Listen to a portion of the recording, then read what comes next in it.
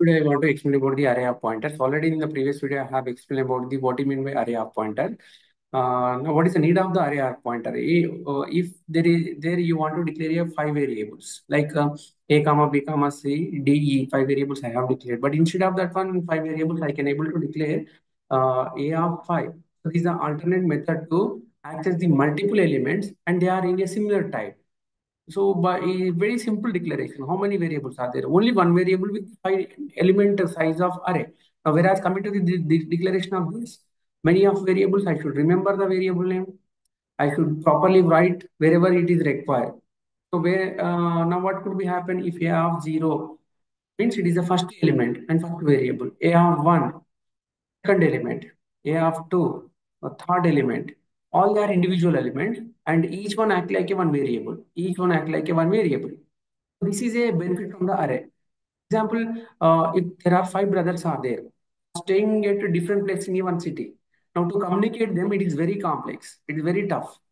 If you want to invite uh, for a particular uh, for a one function and you need to reach to the all five brothers now you have to go to the different places. Like uh, one is from Hyderabad, Mehdipatnam, one is from Tarnaka, one more is from uh, Kukatpalli, one more is from Uppal. There are they are staying at different places. It's very complex and it is very tough to reach everyone family. Instead of that one, they are staying together in a one colony but individual houses, same like a array. Now it is very easy to access them in a one one traveling place. One traveling place. You reach to the colony number A and uh, meet to the A of zero Immediately the next neighbor is becoming A of 1. Immediately next neighbor is becoming A of 2. You can able to reach all five brother in a one colony or one place. You should travel to only one place. A of 3, next house. A of 4. Are they are, are they sharing anything? They are not sharing anything. All they are individual elements.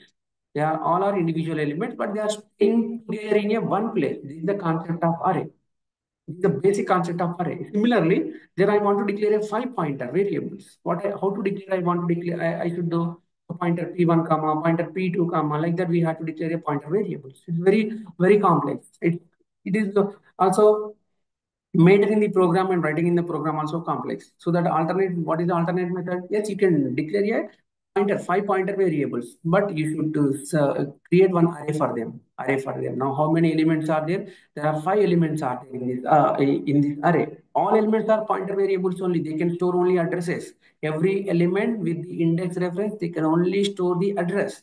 They cannot store the value. Okay, now here it is. Here it is a pointer variable. Now, pointer variable has a five number of elements.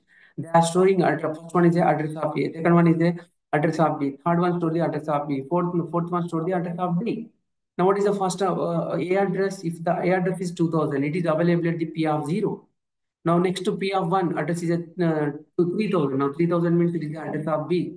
Now, it is a 3005 address of C. This is the address of D. Now, whenever you want to apply any operation, you have to call by using the index wise. Call every pointer variable with the index index wise. Now, only one thing you you will get benefited one thing all there are five pointers are there actually, but five pointers are in a contiguous memory or continuous memory. Now it is easy way to access and easy way to maintain. Okay, this is about the array of pointer. That all these all the things I have explained. Let me explain one program, uh, execute one program on this basis.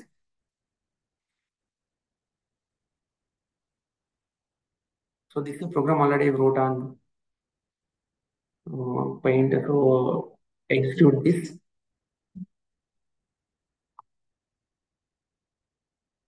So here I want to executing. So what there are three array pointer a array of pointers three. Now first one pointed to the variable a, second one point pointed to the variable, third one pointed to the variable c. Now followed by followed by I am printing this array. I am printing this array for all the variables. You can use a for loop. Yes, you can use a for loop. You can get access from index one, index zero, index one, index two, like that. You can travel over the pointer or po pointer array. You can travel. First access is zero. In a first iteration, zero or point index value will be accessed. Second iteration, one index will be accessed. Third next iteration, two actually I should write here two. I forgot to write two. Two. Next one is a three, like that. Okay. Now what could be happen? Uh, so let's run this corresponding code.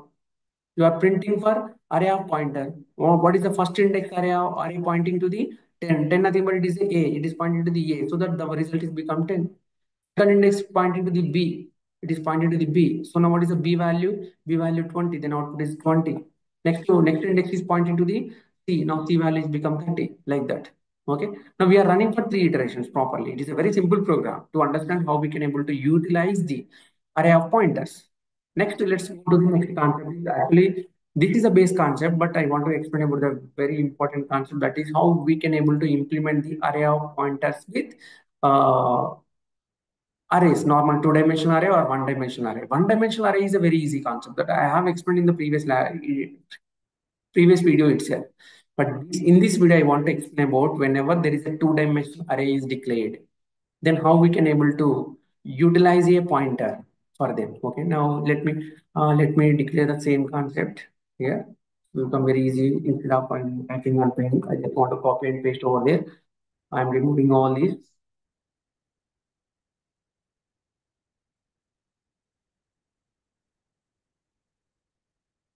Okay, so now there is a one or declare one array.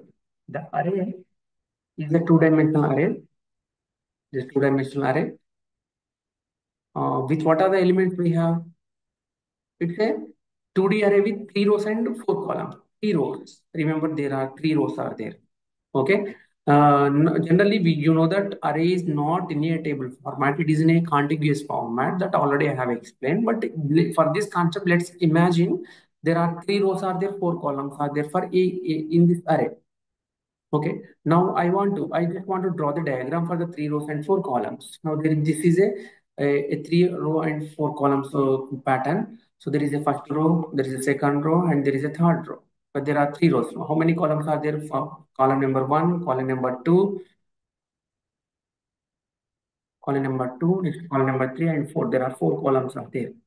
Now we know that uh, according to that, we have a row number. Row is the first primary uh, element, primary number in the array. So first row number, uh, next to column number, next row number, next row number, after the next row number. What are the column numbers? Column number here I'm writing.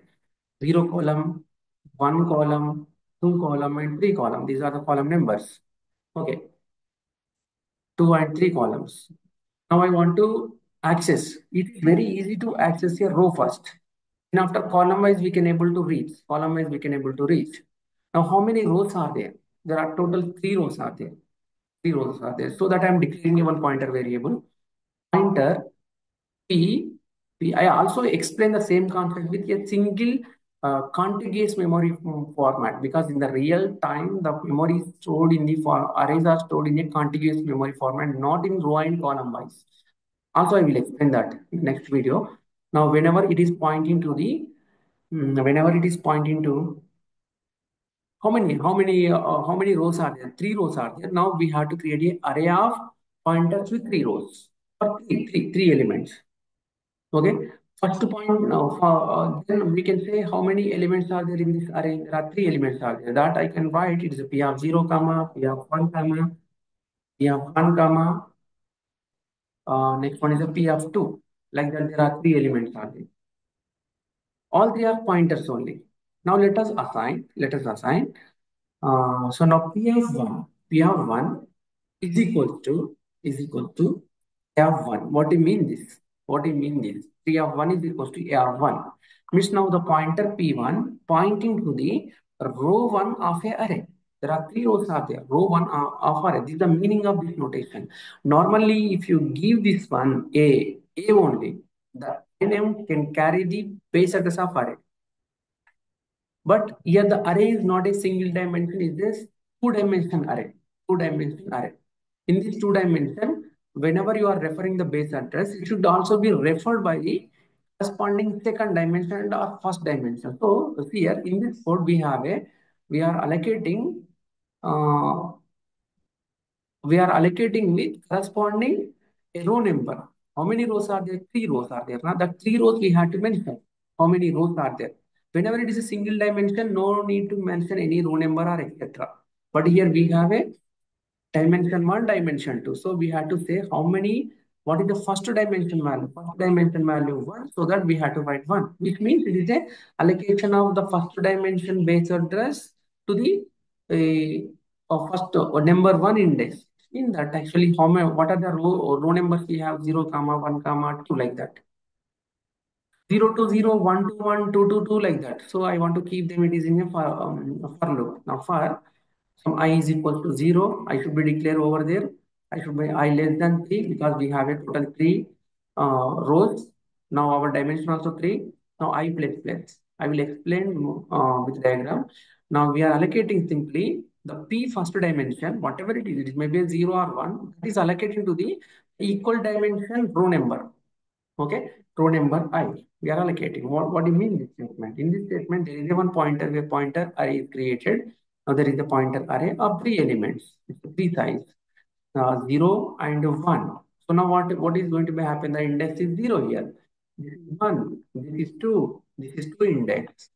And now it is a pointer variable. What is the name of the variable? It's a pointer variable, but it is a pointer variable. Now what is going to be happen whenever i is equal to zero? Whenever i is equal to zero, as per the first iteration, now it is become a p of zero, pointer p of zero, store the address of, it is the address of p of one, but we should not mention the address in array whenever you are notating the array. Array name itself carry the base address. So now it is uh, it is zero, it becomes zero. Whenever i is equal to one, uh, you know how the uh, for loop is going to be run.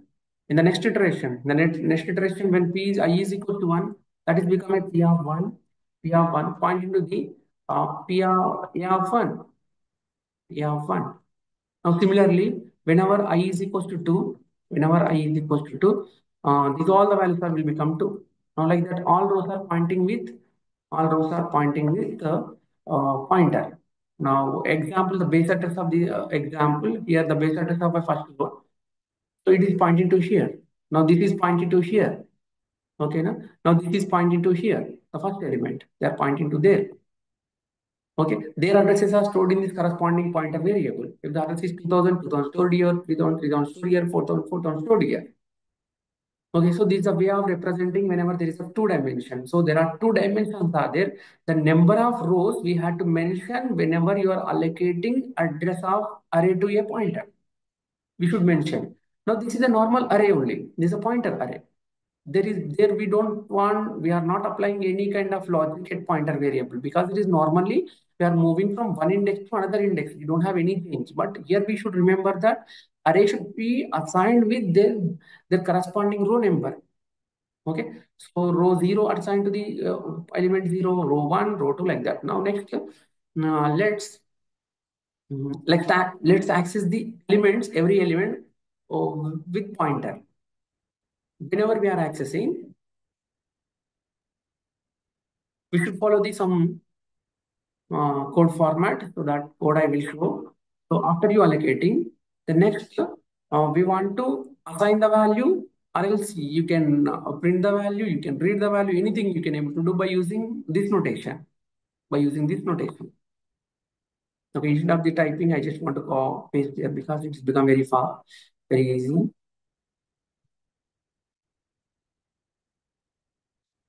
So what happened? Yes, it is a very easy concept and uh, easily understand to you.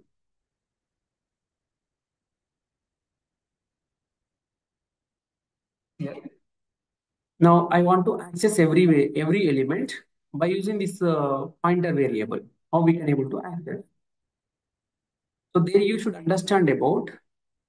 It is a two dimension. It's a purely two two dimension. So when i is equal to zero, when i is equal to zero, what happened? When i is equal to 0, we are able to access the row wise. The i value is referred to the row and j value referred to the column because columns are 4.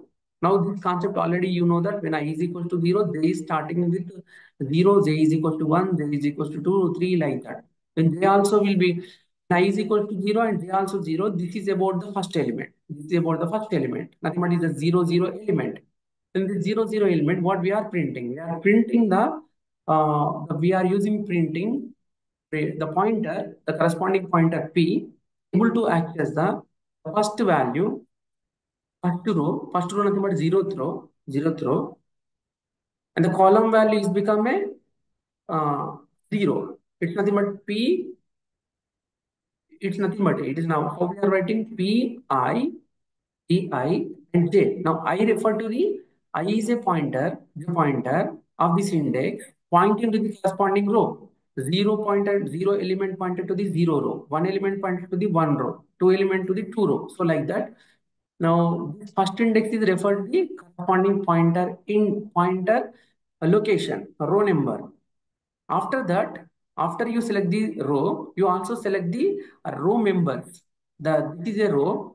Row first zero element, row first element, row second element, row third element. Element wise, in that row there are total four elements are there. We have to reach one by one. We have to reach one by one. How much of distance we need to travel? If it is zero, zero distance. If it is zero, then zero distance only. If it is one, one distance like that. Okay. I could say it is a zero row, zero distance. It's become a first element. Whenever again the next iteration, what happened? they become one. In this case, we are now we are at we are at zero row. A zero row, yes. But element is one. Element is one. But how it is operating? This notation is same like a array format. Array itself, it is a point. Array inbuilt itself, it has a pointer. Now, after you are assigned to a point, assigned to a pointer, now you can operate in this in this format. Now, the meaning of this format is the meaning of this format is a pointer of already we discussed about this pointer of pointer p. I'm writing p, but there is a here. Don't confuse p plus i. What do you mean that? Base address plus i. What is the base address? In case the first row base address is a 2000, now 2000 plus 1 plus uh, this also have a like explain. This is a equivalent meaning. This is the equivalent meaning. In case the base address of this value, base address of this element is a 2000 example, it is a 2000. Okay, base address of this first row first element. The base address of a second row second element is something like a 2005 or 2020, something like that. Next one is a 2040 like that. Okay, you consider in such a way. Okay, then what is the so what is the I value? I value is become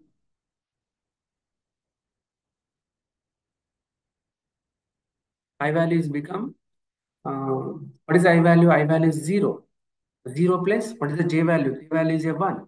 Now it's become a 2000 plus 1.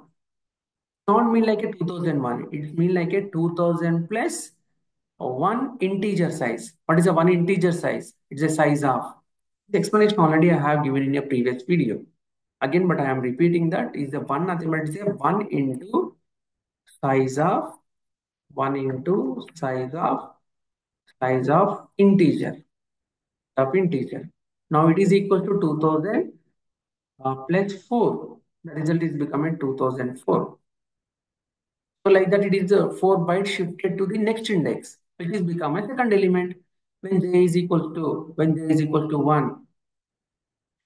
When j is equal to 1, whenever j is equal to 1, uh, the array will become p of uh, j is equal to 2. Whenever j is equal to 2, it will become p of 0 and 2. Now it is equals to pointer of pointer i plus j. Like that, uh, we are moving over the corresponding array. Okay. So it is work like this kind of notation. completely work like a, this kind of notation. But we can able to write in this format, same like a array notation format. Same like what is the name? Normally, whenever you print any variable, any value from the array, we are giving a of i plus a of i and j.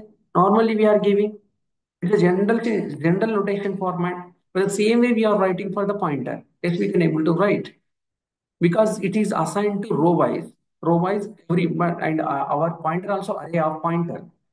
Already we are assigned to pointer element to array wise.